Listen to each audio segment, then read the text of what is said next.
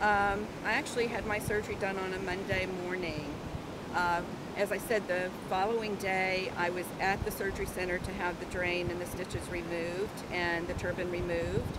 Um, on Friday of that same week, I went back and had the stitches removed from my eyelid, eyelids, um, which was no, not painful, looked absolutely, even a little bit swollen was fantastic.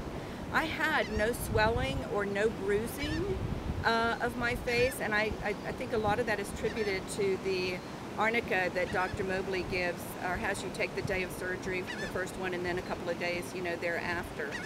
Um, I went back the following week.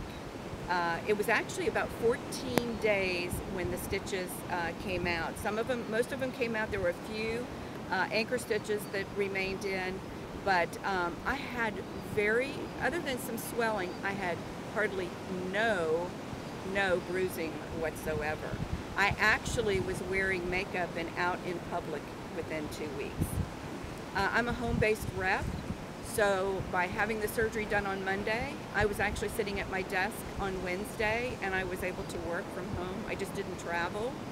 Uh, but I was out and about within two weeks. Uh, people knew something was up, but weren't quite sure what it was.